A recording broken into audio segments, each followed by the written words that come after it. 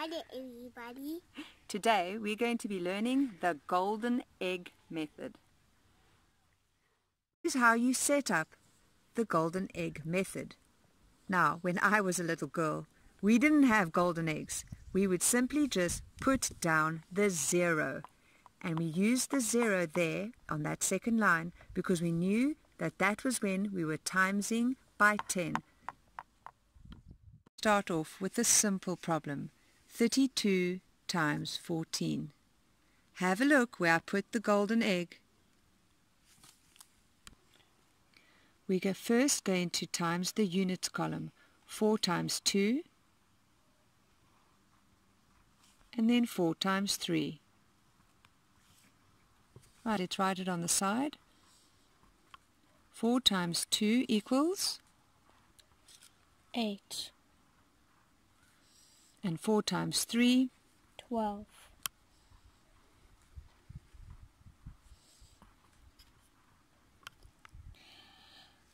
You need to put the 8 under or on top of the egg.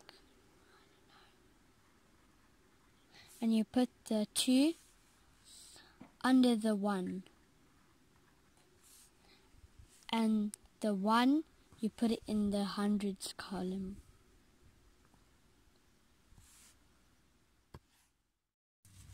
We are finished with the units column.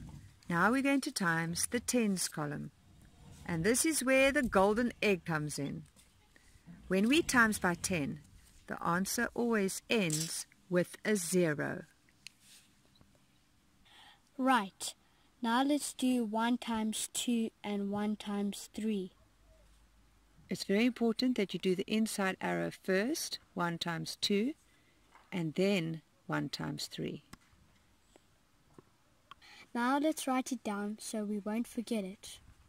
1 times 2 equals? 2. Good. And 1 times 3? Equals 3. The 1 times 2 answer is going to go over here. And that is 2 and the 1 times 3 answer is going to go here. And that is 3. I didn't crack the eggy, see? Okay, good. The final challenge. We are going to plus these two answers. 8 plus 0 is 8. 2 plus 2 equals 4. 1 plus 3 equals 4. So 32 times 14 equals 448.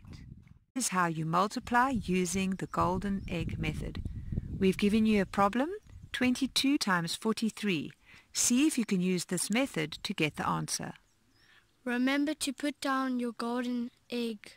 And then, when you once you've got the answer, please write it down in the comments below.